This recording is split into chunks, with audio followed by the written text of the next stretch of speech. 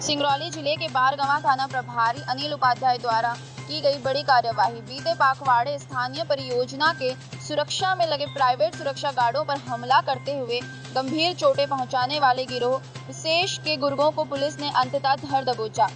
चोरी की नीयत से बीते सप्ताह 9 सितंबर को मारपीट करने वाले आरोपियों के विरुद्ध धारा एक सौ सैतालीस, एक सौ अड़तालीस, एक सौ उनपचास, चार सौ बावन दो सौ चौरानवे, तीन सौ तेईस आई के तहत आपराधिक मामला दर्ज कर धरपकड़ चल रही थी।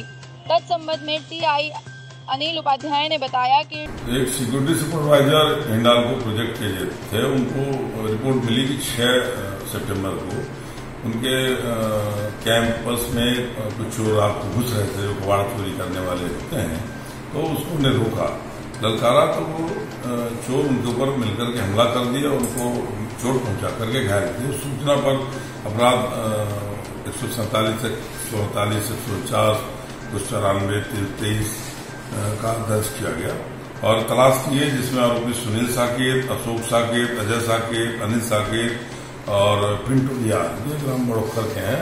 इनको चिन्हित किया गया और साक्ष्य के आधार पर इनको अपराधी निरूपित किया गया और कल इनको पकड़ा जाकर के और इनको गिरफ्तारी की गई।